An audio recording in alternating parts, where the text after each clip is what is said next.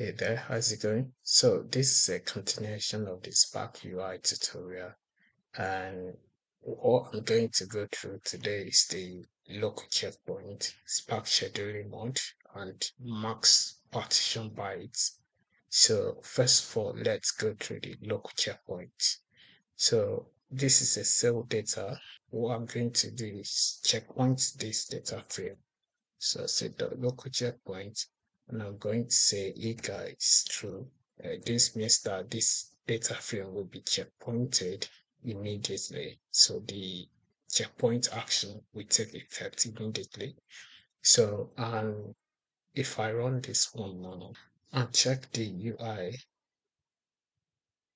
so if I refresh and you can see the local checkpoint uh, description here and if I go to the storage, you can see the map partitions RDD. So this is uh, the cache fraction, which is 100%, and the size of the data in memory is 4.4 megabytes, and the cache partition is 1.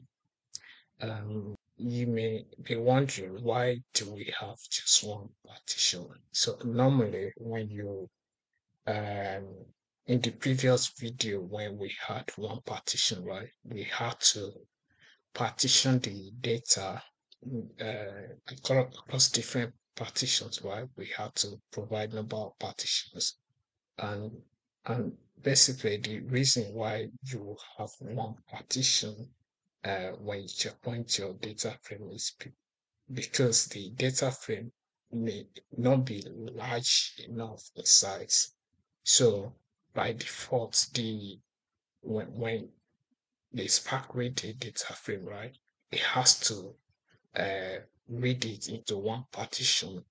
So the fourth partition size for uh, Spark is uh, 128 megabytes. So if your data is not big enough, the data will be cached into just one partition. So that is why sometimes um, you may have to do repartition, or you can set the max partition byte.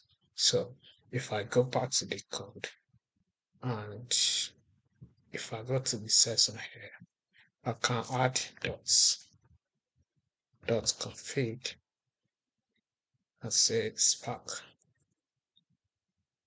dot SQL dot files dot max partition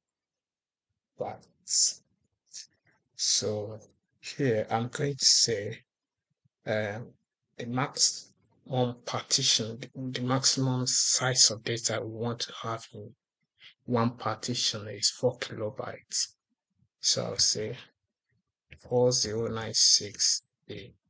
So if I do this and rerun the code, then go to Spark UI. I refresh this one now, you can see the cache partition now is 562 um, in, in, in number, right? Uh, so you can actually use a 4K as your, this is 4 kilobytes. So if we also increase it to 8 kilobytes, uh, we run the code, So let's check the story again. So the cache partitions now is 281. Now we've got the max partition. Let's go with uh, scheduling mode. So basically, if you check the job, you see the scheduling mode, which is uh, FIFO, FIFO, which means uh, first in, first out. So this is a priority based scheduling mode. It will allocate resources to the first job in the queue. So the first job has to finish running before the result, the available resources can be allocated to the next job in the queue. So it basically gives priority to the first job in the queue uh, compared to the fair scheduling mode. That that is a bit different. So the job, uh, the resources get allocated to uh, almost evenly allocated to all the the jobs, right? So it's not, uh, it's different from the first in first out scheduling mode. So the uh, fair scheduling mode can be good in terms of if you have some short running job, right? So if you have a short running job, it doesn't have to wait for the long running job to finish running before it can um, execute the short running job.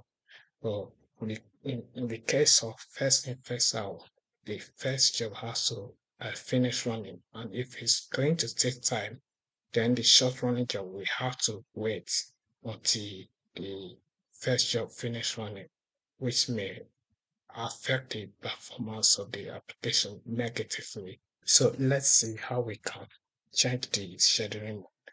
So if you go to the config and you say spark dot uh, dot mode. Fair. Run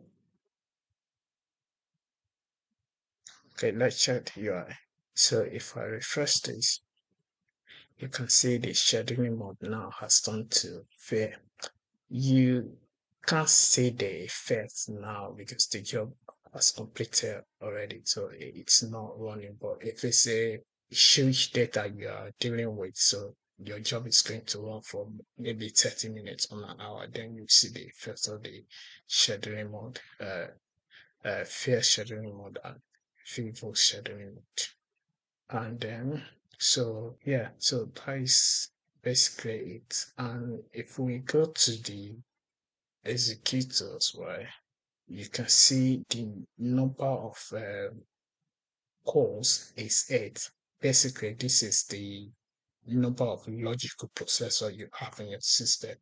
So you can customize the number of cores your application want to use um, if you are running in your local system right? So if you basically go here instead of telling the Spark to use all the logical processors, right, all the cores, right, just um, assign the one that I can use. Maybe you want to use uh, three. So if you you just have to provide three here. And let's check the UI. If you refresh this,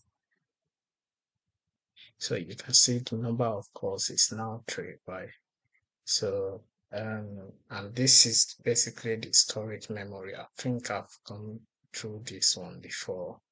So uh, you can see the data, the size of data we checkpointed is 4.5 megabyte. So this is telling you that out of 1.9 gigabyte, we've used 4.5 megabytes and this is the RDD. You can see we've checkpointed uh, our data into 281 partitions. So this is telling me the RDD blocks. Those data been checkpointed, right? So you can see if you're working with clusters, right, you will have more than one executors. Then this will show you the um, storage memory usage for each executors, the number of cores per executors, the number of active tasks, the number of failed tasks, and so on. So that is it for this video. Thank you for watching. Don't forget to hit the like button, the subscribe button, and leave a comment. Have a lovely day goodbye.